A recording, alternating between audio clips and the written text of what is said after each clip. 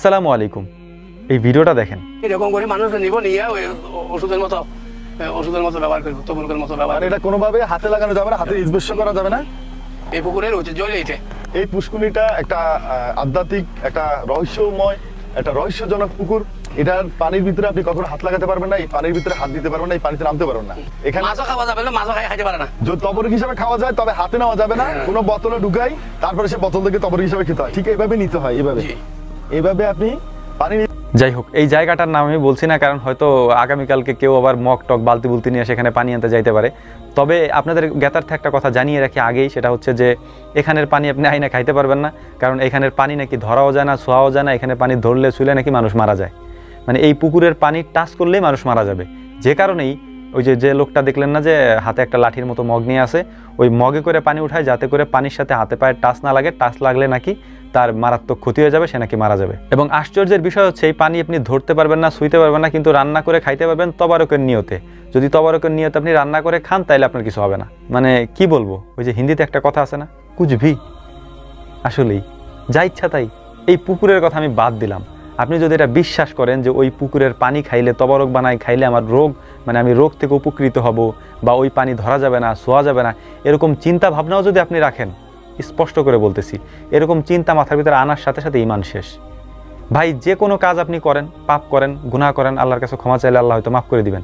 কিন্তু যদি এসব শির করে মরেন, আল্লাহ জীবনেও ক্ষমা করবেন না। মারা যাবেন জাহান্নামে যাইতে হবে। কারণ আপনি অমুসলিম।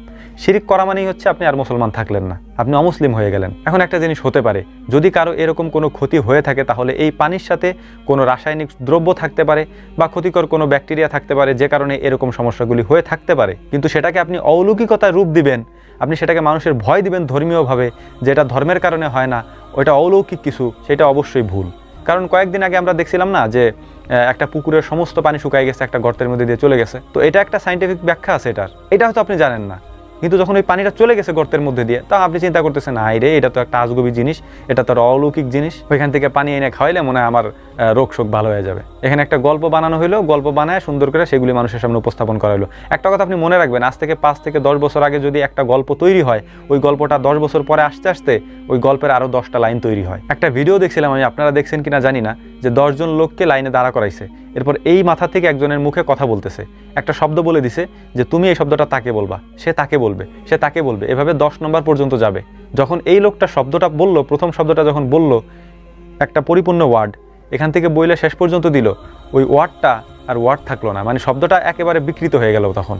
তো এটাই হয়। আমরা যখন শুনে শুনে কোনো কিছু প্রকাশ করি, প্রচার করি, এই জিনিসগুলি এরকমই হয়। আর বেশিরভাগ ক্ষেত্রে এইসব অলৌকিক জিনিস যেগুলি মানুষ আমাদেরকে বলে, এগুলি আমাদের ইমান নষ্ট করে। আমরা খুব সহজেই আমাদের ইমান বিক্রি করে দিই। একটা কথা চিন্তা করেন, ভারত, বাংলাদেশ, পাকিস্তান, এই তিন দেশ বাদে মানে উপমহাদেশের এই তিনটি দেশ বাদে আচ্ছা মধ্যপ্রাচ্যে কি অলৌকিকতা নাই?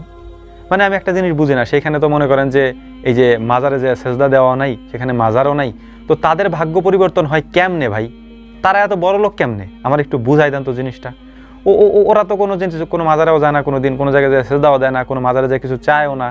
মানে কোনো ওদের এরকম কোনো পুকুরও নাই। তো ওরা তো কারও কাছে কিছু চায় না, কারও উসিলে দেও কিছু চায় না। তাহলে ওদেরটা কবুল হয় কেমনে? ওরা এত ধনী কেন? আমরা তো গরিব কেন? ও আমাদের দেশে তো অলিয়া উলিয়া বেশি, মাজার টাজার বেশি। তো আমাদের দেশে যদি মাজার বেশি হয় তাহলে আমাদের দেশের মানুষ বড় লোক বেশি হওয়ার কথা ছিল। তো সেটা কেন হইল না? ওরা কেন হইল? আমাদের তো উসিলা বেশি, আমরা তো দোয়া করতে থাকি, সারাদিন সেজদায় পড়ে যাই মাজারের সামনে যে পড়ে তারপরে দয়াল বাবা, কেবলা বাবা কাবার কাছে আমরা চাইতেই থাকি যে আমাদের এটা দেন, ওইটা দেন। তো তারা যদি আমাদের রাত কবরের ভিতর থেকে এত কিছু দিতেই পারে, তাদের উসিলা যদি আমরা এত কিছু পাই, তাহলে আমরা গরিব কেন? আমার তো বুঝে আসে না, আপনার বুঝে আসলে আমরা জানায়েন। আল্লাহ তালা আমাদেরকে বোঝার তৌফিক দান করুন। ওমা তৌফিক ইল্লা বিল্লাহ। নাসরুমিন আল্লাহ ফাতহুন করিব ওয়া আখিরি দাওয়ানা আনিল হামদুলিল্লাহি রাব্বিল আলামিন। আসসালামু আলাইকুম রাহমাতুল্লাহি তাআলা ওয়া বারাকাতুহু।